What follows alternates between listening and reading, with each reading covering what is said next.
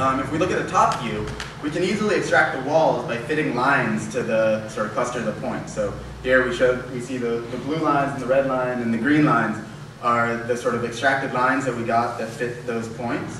Um, that allows us to sort of cluster that point cloud into a set of walls.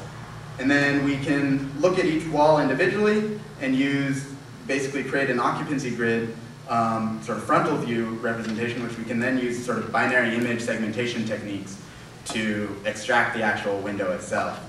Um, and so once we have the position of the window, we can uh, do the window enter. Um, we saw that uh, similar thing in the video earlier, but here's it is again. Um, these are the sort of raw laser points that we detect. We, the little pink thing um, detects the window, and then we fly through. Um, so once inside, we transition to the explore state, where you know, we start with the partial map built by the SLAM using the SLAM algorithm. We sample points near frontiers, which are you know, the boundaries between explored space and unexplored space that's not a boundary blocked by sort of occupied space, which are walls. Um, we then plan the path to the lowest cost frontier, and we basically just iterate to uh, progressively build our map larger and explore the entire environment. Um, one, one tricky thing with this is that some of these frontiers just aren't reachable. So for example, in the bottom left and the bottom right, there's some frontiers that are in space that's been blocked by obstacles. And so while the laser sort of was able to peek through and you saw a big open area that looks like it would be really nice to explore, you can't actually get there. Um, so we prune these sort of spurious frontiers um, using uh, modification of sort of Dijkstra's algorithms um, to compute sort of a cost map of the entire um, area.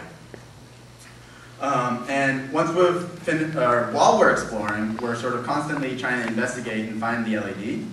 Um, as several of the other teams have done, we use a you know, color camera. We search the region for um, you know, bright portion of the image with high blue content, low green content. We prune candidates with incorrect ratio, width to height, or have incorrect size. Um, and we integrate over time to uh, uh, you know, actually make the final detection. Um, and then one sort of final check that we do to just make sure that we are getting very good um, detection is that we use the range estimate from the laser in a calibrated camera model to actually project the LED into the real world. So as you can see here, that little green thing on the right is the actual detected LED in the world. It was up on the wall over there. Um, and we don't actually make a final detection until we are within uh, sort of usable range uh, to be 100% sure that what we're actually seeing is the LED. Um, so once we've made that final decision, we um, basically just transition to the found LED state, we publish the image to the judges, and we land. Um, so in conclusion, we employed a combination of careful hardware and software design to develop a complete system that's able to both fly and accurately and stably in small confined spaces, as well as explore and uh, you know uh, plan paths in large-scale environments. Um, to do this, it was critical to use this hierarchical um, software uh, design where we match the algorithm speed with the MAV requirements. And so in all, we feel that we've developed a very capable system and are excited to see how it's able to do in the competition tomorrow.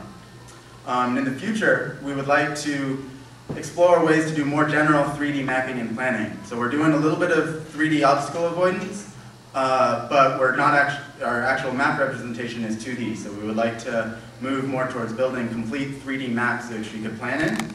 We'd also like to explore higher level planning algorithms that allow us to you know, semantically understand the environment and do more sort of high level AI tasks with the helicopter platform. And that is it. Any questions?